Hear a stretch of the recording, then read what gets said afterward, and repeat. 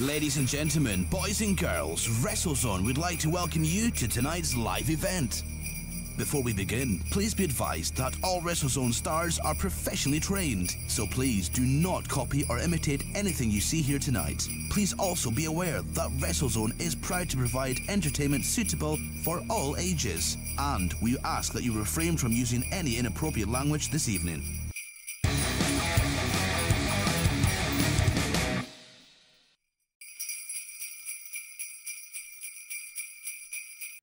Hello and welcome. Oh my god, my voice sounds awful. Uh, hello and welcome to the WrestleZone podcast. I'm your host, as always, Billy. I'm giving you a quick recap of the events that just took place this past Saturday at Danestone Community Centre for Christmas Chaos. Hopefully, when you hear this Friday's SWN podcast, Christmas Chaos, I won't sound like this. Uh, so I'd want to get it in now, get it in Monday because just that's just how the schedule works on our podcasting network. I just want to get this this in on Monday, but uh, keep an eye on socials, and I might probably write up something in the coming days uh, just to make up for the fact that I sound like this. Um, I I didn't think about the weather. I mean, I wore a Christmas jumper, you know, but uh, that, that that didn't really work out for me very well, as they're not as thick as you think. Uh, I was just thick for for wearing that and a and a beanie hat from WWE shop that said Big Daddy Claymore on it. Anyway, let's look at the recap of Christmas Chaos took place at the sold out Danestone Community Centre this past Saturday, and uh, we can speculate on the upcoming possibilities for Granite City Showdown on January 20th, 2024 at the Rich Energy Arena in Aberdeen. And more details about that in the new year. Uh, hopefully, we will do a preview of that show and maybe sneak in a road trip episode before the end of season six of the SWN podcast as well. So kicking off the show, it was it was the VIP ticket holder match. Uh, we had Oliver Green versus Chris Archer. Uh, Ollie Green started the year against Chris Archer, or started his, his wrestling journey against Chris Archer uh, at the Training Academy show in uh, I think it was April. Uh, it was, um, and that night Chris Archer won, attacked Ollie Green after the match, uh, which was during the build to Vago versus Archer at Anarchy. And but Ollie Green was able to pick up a win at Halloween Hijinks in the pre-show in a triple threat, and on this night as well, uh, he fought hard. We had Chris Archer trying to pull out all his bag of tricks, his his uh, high flying moonsault, his his uh, he even took little digs here and there, but Ollie Green was able to pick up the win. Uh, he was able to bust out a shining wizard, uh, and on a really great showing end of the year on a high for him, especially making his debut um, as a referee at Christmas Chaos and then making his debut at Regal Rumble. Um, he's had a great first year as in WrestleZone, and hopefully in 2024 we see him rise into the main onto the main show a bit more regularly as well. Because I think he's definitely got one of those. He's one of those guys that I really like uh, watching, and I think he's going to be a really great asset to WrestleZone in 2024. Uh, Chris Archer ended the year on a bit of a, on a bum note.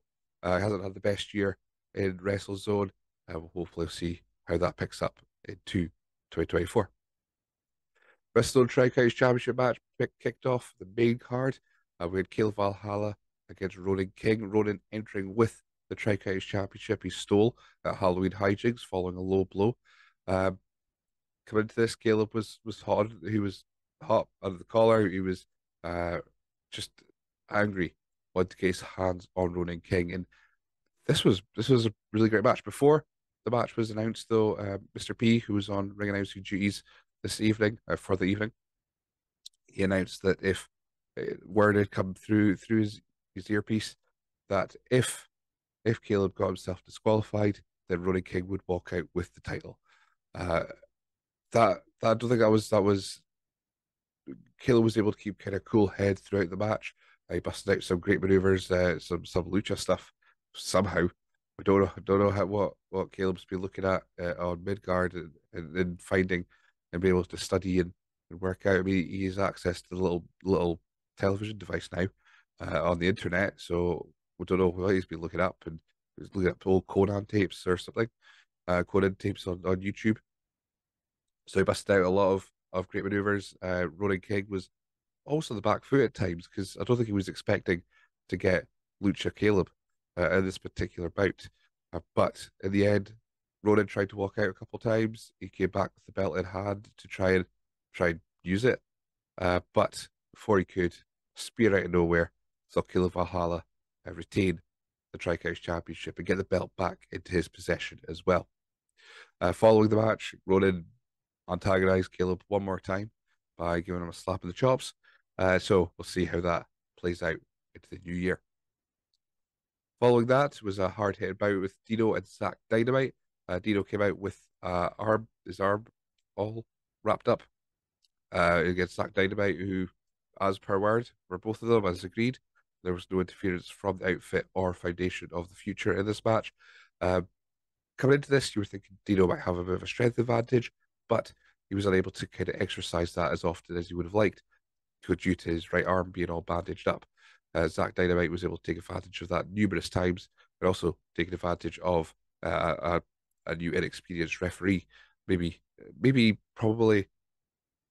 In, in the end, it was an advantage to Dino because uh, he was able to maybe be in the match longer than uh, Mikey Innes or Dennis Law would have allowed. Uh, but Zach Dynamite made sure to take advantage as much as he could with arm bars and, and key locks and anything he could to try and punish the arm of Dino. Dino was still trying to use it for, for big clubbing blows, try to use it for his, his spinning elbow, but a lot of his offense, the later but part of the match, he used his head, uh, a lot of headbutts, a lot of big boots, uh, and even a little fake out using his left arm for the, the rolling elbow as well to to knock knock down David, uh, knock down Zach Dynamite. Uh, in the end, though, it was Dino who was able to pick up the win, uh, which was which was a surprise, I think, because of the the way the match had went along. Uh, we were thinking that Zach Dynamite may be able to just grab the arm one more time, but it wasn't to be. Dino picking up the win. Uh, following the match, though, Zach Dynamite did attack Dino, trapping his arm between the apron and the the, the curtain, the you know what I'm talking about. You know, the the bit the ring apron.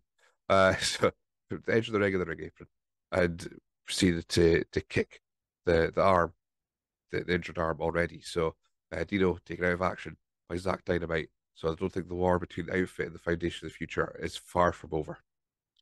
In the first half main event, we had the Christmas brawl. Uh, Damien and Captain Alan Sterling. Captain Alan arrived with a sea Santa, which looked like a Grinch in a Santa costume who provided uh, unfair advantage. Damien noticed this straight away and he, he arranged Santa to be in his corner. Uh, but unfortunately, Santa didn't arrive uh, at the start of the match. Uh, Mr. WrestleZone did appear in a Santa hat, but he was dragged to the back by Omar Mohammed. Because uh, I don't think Damien, as we love Mr. WrestleZone, I don't think uh, Damien would have appreciated that kind of distraction.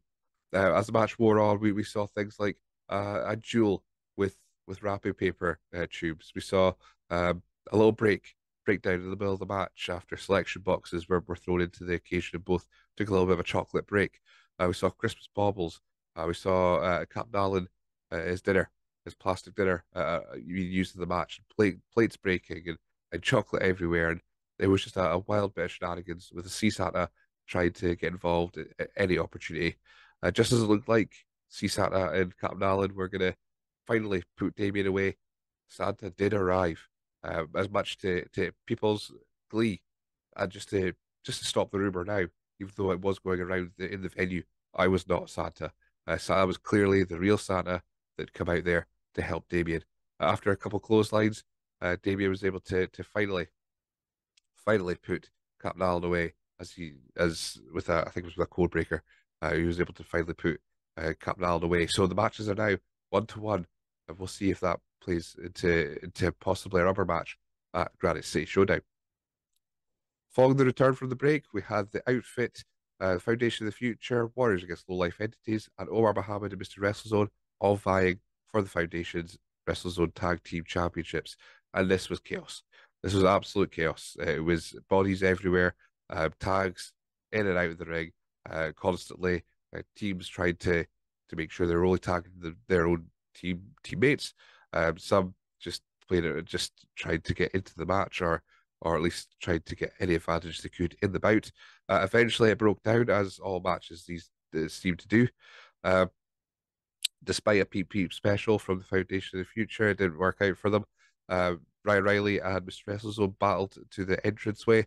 Uh, in the meantime, the outfit, Murphy and Ted O'Keefe were able to keep Bruiser Brad Evans down for the three count and to become the new WrestleZone Tag Team Champions. The first time the outfit have held the titles, and it just marks another uh, unfortunate Christmas chaos for the foundation of the future. Uh, another another uh, clean sweep of losses with Zach Dynamite losing, as well as Bruiser Brad and Ryan Riley. Uh, this has not been a great uh, event for for Foundation of the Future recently, but the outfit they worked hard. They made sure they were in the match. They were they were trying to be involved as much as they could, uh, and they were able to pick up the the win. Uh, following this match, we did find out Omar Mohammed did suffer a, a knee injury, but it looks like he's able to still fulfill the rest of his his uh, matches for the rest of the year. So that's good to hear. Um, I, we love Omar here uh, at the podcast, so I'm glad that that, that was just a a little a little uh, bump on his his road there to wrestling. I don't know. I'm, I'm rambling now because uh, I know that I, I, sound I sound terrible. Uh, following that, the penultimate match of the evening was Mickey Vago with Tommy Raiden defeating Judas Gray, the debuting Judas Gray, uh, who who certainly left an impression on the WrestleZone audience. He was a bit flamboyant. He, he was a bit more uh, eccentric in comparison to what we've seen before in WrestleZone uh, with his massive Ganzi that he threw in my face. So thank you for that, Judas. Uh, I'm going to put you at the bottom of every list in the future. Uh, I, I am obviously joking. I hope because because uh, if he comes back, I I dread to think what he'll do next. Uh, but Judas really had a problem with Tommy Raiden, and Tommy was not afraid to get in the face of of Judas Gray, which I think may cause a little bit of, of issues in the future because we saw great athleticism from Judas Gray. We saw Mickey Vago uh, putting in the work and, and, and trying to subdue Judas Gray and his high flying antics. But it all came down to uh, eventually Judas tried to take the shortcut, tried to take the easy way out by grabbing the Singapore cane from Tommy Raiden. They had a battle about it. And as the referee was distracted, get rid of the Singapore cane, and Tommy Raiden uh, struck Judas Gray behind referee's back and behind Mickey Vago's back, uh, rolling him into the ring and leading to the stunner for Mickey Vago for the win. So I don't know if Mickey Vago, once he looks back at the footage, will want to bring this up to Tommy Raiden because we've seen what Vago's been doing. Vago, we, we know Vago does like a little bit of a shortcut here or there with the with the mist and uh, what have you, but I don't know if he's wanting to take a victory uh, because of Tommy Raiden uh, being involved so heavily in the outcome. Uh, we'll be interested to see how that goes in the future. But Judas Gray, great impression, great first night in WrestleZone, and hope to see him again in the, in the very near future. I will I will also just be cowering a little bit when he comes out, uh, so I, I, don't get bullied. so we're getting there, folks. Before the main event, Mr. WrestleZone helped draw the raffle. It was supposed to be Omar Mohammed and Mr. WrestleZone, along with Mr. P, uh, doing that, but because of Omar going to the hospital, it was Mr. WrestleZone on his own drawing the raffle. Uh, just as that was all done, Foundation of the Future arrived, all pissed off because they they had lost the their respective matches and they were no longer tag team champions. Then they confronted Mr. WrestleZone. Uh, Mr. WrestleZone, he said himself, he wasn't stupid. He knew to leave the ring at that point. So just as he was leaving the ring, Zach Dynamite said something that I think we're going to be very interested in knowing more about.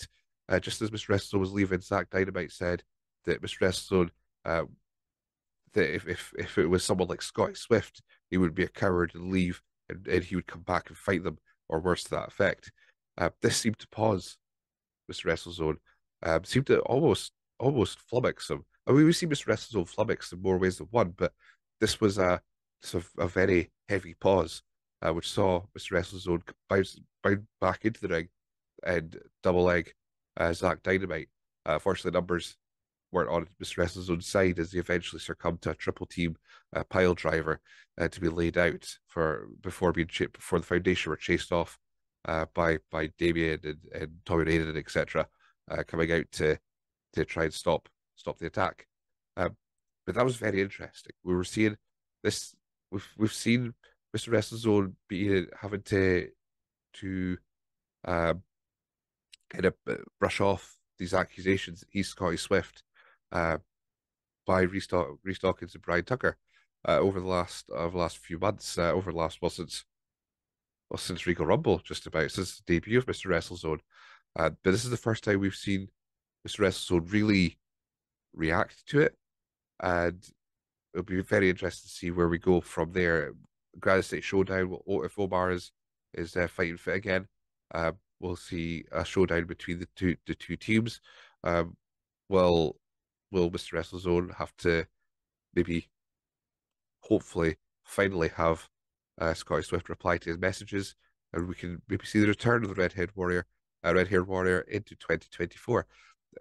But we haven't seen or really heard from uh, Scotty Swift since since it was uh, Summerhill Showdown, uh, Station Hotel Showdown, I should say. Sorry, uh, Station Hotel Showdown when he was ejected or when he left the building following uh, a confrontation with Brian Tucker at the start of the year. Uh, we haven't seen Scotty really uh, involved in anything for WrestleZone um, since then. So it'll be it's it's interesting to see his name cause a reaction for Mr. WrestleZone, and I, am very interested to know what Omar Mohammed thinks of this as well when he when he watches the footage back uh, to see what, what where his mind is at, uh, whether whether he starts to doubt uh, Mr. WrestleZone's identity, and he, maybe he will begin to think that Tucker and Dawkins might be onto something. So we find out. Uh, and in the main event, we're glad to hear, uh, Lost Boy Aspen defeated Connor Malloy to retain the undisputed WrestleZone Championship uh, in a match that initially looked like Aspen wasn't taken seriously. He came out in uh, a lovely ensemble uh, with a Christmas jumper and uh, a nice uh, lounge pants slash vest on uh, wear. There's photos online. You'll see it. It, it looks fantastic. Um, and he was kind of playing about with Connor in the open in the open exchanges. He wasn't. He was here to have a bit of fun. It's Christmas chaos, you know. Uh, we've seen some some so uh, things that evening with Miss Wrestle being attacked, new tag team champions, uh, Santa uh, as well. So he was he was just there to have a bit of fun until Connor told him to take it seriously. Uh, I think Aspen may have said again. I'm just I'm, I'm I did not hear it totally, uh, but it sounded like that that he just told Connor that he's not going to win and good luck in the Rumble, um, which Connor just took offense to and, and, started laying in slaps and chops and kicks and uh, to try and get Aspen to take it seriously, uh, which he did to to much to probably to Connor's uh, disadvantage because Aspen took it to, took it to Connor at that point uh, with the chops and and uh, just leathering for Connor Malloy for for a good portion of the bout. Um, a little bit high fly was brought into it with a with a um, slice bread number two from the second rope, uh, which from Connor to Aspen. There'll be footage online, I'm sure. There will be, it should be in footage in our episode on Friday uh, for the Christmas Chaos road trip. Uh, but eventually, Connor's athleticism became his downfall uh, when he was he was caught into a, a tombstone position uh, when he went for a second a slice bread number two, caught into a tombstone position, um, a roll up, quick roll up uh, from Connor looked to maybe have sealed it for him, but Aspen was able to counter it into a roll up of his own and was able to pick up and def- and retain Undisputed WrestleZone Championship uh, to mark one year as WrestleZone Undisputed Champion. Following the match, Ronan King, well, there was a little bit of of respect. Aspen offered his hand to Connor. Connor slapped it out of his slapped the hand away, and Ronan King arrived and attacked Aspen uh, following the match. And just as it looked like Ronan and Connor maybe get into it, Connor pushed Ronan aside and started attacking Aspen himself, uh, with Ronan King and Connor Malloy now aligned in WrestleZone. A formidable young tag team in WrestleZone, a dream team, some people may call them as well. Uh, eventually, Gil Valhalla ran out to make the save, and Connor and Ronan escaped. Um, so it looks like the Granite City Showdown has not been confirmed by anyone uh, at WrestleZone, but it looks like we're going to see Skull Brawl uh, make their their uh, debut officially for WrestleZone with Gil Valhalla and Asp- Lost Boy Aspen uh, taking on Connor Malloy and Ronan King. But uh, that's speculation at my end. It's not been officially announced yet. So take it, keep an eye on WrestleZone socials to find out more. But a great night to end a very uh, consistent year for WrestleZone. Sellouts, sellouts, and sellouts. Uh, plenty of great matches and moments over the course of the year. We hope to have a review, a year in review, just picking out some of the the, the biggest news stories coming out of the year for WrestleZone uh, in the near future uh, before, hopefully before New Year. That's that's my plan. Uh, but you know, uh, car subject to change, etc., etc. Uh, but while I go rest my voice, Uh, this has been the WrestleZone podcast. If I don't get that year in review out uh, before before the end of the year, have a great Christmas, have a happy New Year, and uh, keep an eye on Rest WrestleZone socials and keep an eye on our socials as well. That's got ResNet uh, for more information, and we'll try and keep you up to date as much as we can about match announcements for Granite State Showdown taking place on January 20th, uh, 2024 the Rich Energy Arena in Aberdeen. But for now, Merry Christmas.